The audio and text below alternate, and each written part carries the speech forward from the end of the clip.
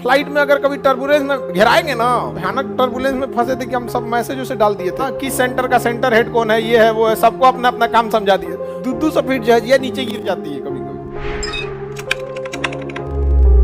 अभी तो मानसून के समय में जो फ़्लाइट में अगर कभी टर्बुलेंस में घेराएँगे ना हाँ?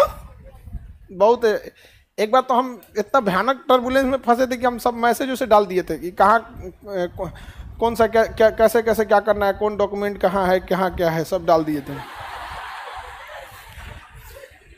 फ़्लाइट मोड से हटा के डाटा ऑन कर दिए थे कि गिरेगा तो नीचे में ना जाएगा। सब मैसेज डाल दिए थे कि हाँ कि- हाँ किस सेंटर का सेंटर हेड कौन है, ये है, वो है, सबको अपना अपना काम समझा दिए। उससे तो कभी कभी बहुत भयानक घिरा जाता है जहाज़ में मानसून के टाइम पे। तो हवाओं का घर्षण बहुत खतरनाक होता है यहाँ पे। मुझे दो दो सौ फीट जहाजिया नीचे गिर जाती है कभी कभी ऐसे अब फिर उठा के उसको ले जाता है ऐसे। कभी कभी टर्बुलेंस बहुत खतरनाक होता है आप जहाज़ में मत जाइएगा, हम लोग का बैच है।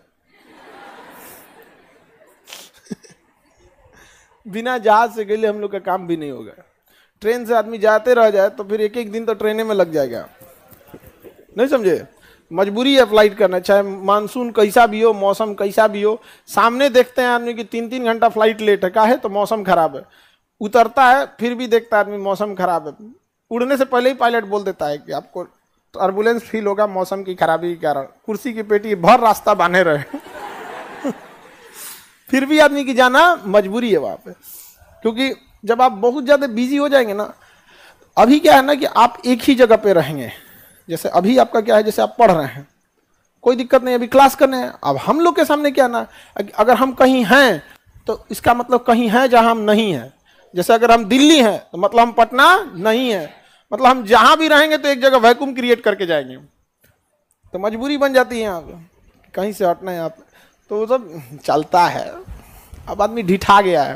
पहले आदमी को भी शुरू शुरू में डर लगता है जो उतार देगा कि नहीं आप। अब तो आदमी ढिठा जाता है।